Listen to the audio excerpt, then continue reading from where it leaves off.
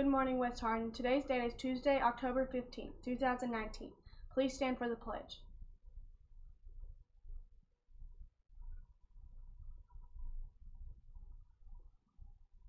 I pledge allegiance to the flag of the United States of America and to the republic for which it stands, one nation, under God, indivisible, with liberty and justice for all.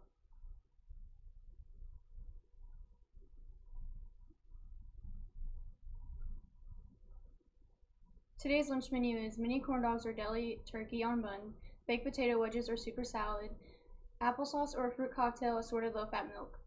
Happy Laker birthday today to David Rostron and Dylan Sadler. The seventh grade, the seventh and eighth grade Lady Laker basketball teams won a big North Hardin, one big at North Hardin Christian last night. The seventh graders notched a a 35 to 5 victory, while the eighth graders won by a score of 49 to 0.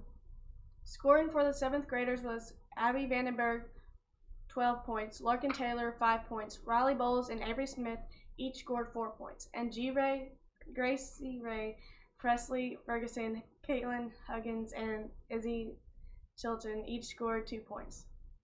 The eighth grades was led by Allie Ling, 17 points. Haley Lowe and Taylor Yurick each scored 6 points. Dina Lively, Abby Vandenberg, Riley Bowles, and Larkin Taylor each scored 4 points. And Caitlin Huggins and Paige Razor each scored 2 points. The Lady Lakers will play their final home game of the season this Thursday against East Hardin. Tip-off is scheduled for 5:30 p.m. and admission is $3.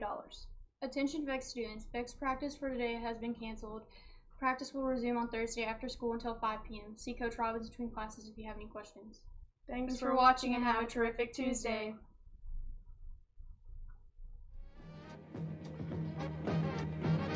We've been seeing in the sand and the shit come up in. There's two of the cars that are